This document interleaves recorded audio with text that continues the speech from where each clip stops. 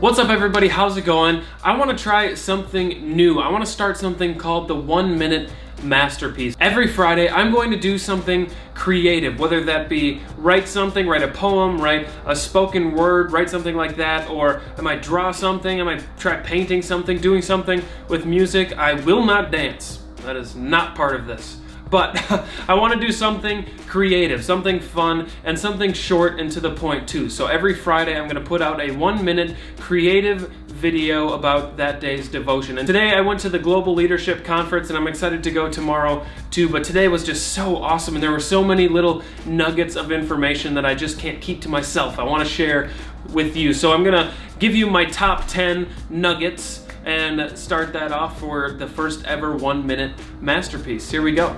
Pastor Bill Hybels kicked off the day by telling us that as leaders, we need to set an example of how to differ with opinions of others without demonizing them. He also encouraged us not to merely tolerate the people around us and people we disagree with, but we need to get uncomfortable and seek to understand each other.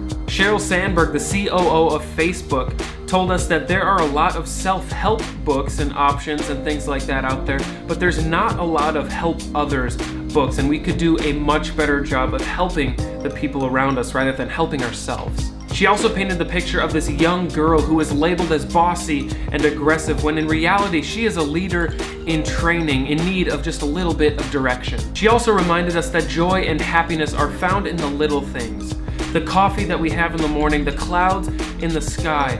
We shouldn't just save our joy for the big moments in life only, but we should enjoy the little things in every day. Marcus Lemonis, the CEO of Camping World and Good Sam, encouraged us to take our time and invest and connect with those who wouldn't otherwise be given a chance. Fredrik Härén, a business creativity expert, kicked off the afternoon by telling us that we're all creative in our own way and that an idea is simply a person that takes knowledge and information and combines them in a new way. Bryan Stevenson, the founder and executive director of the Equal Justice Initiative, told us that we are living in narratives that we created to tolerate the injustice in our world. And that in order to make a difference, we need to understand the narratives of the problems that we see and rewrite them. He also said that our medals of honor come through the cuts, scars, and bruises we receive in our journey to make change and change the narrative. Andy Stanley, the founder of North Point Ministries, told us that close-minded leaders close minds. And that when people come to us with ideas, instead of responding with how, you know, how is this possible? How is this going to work?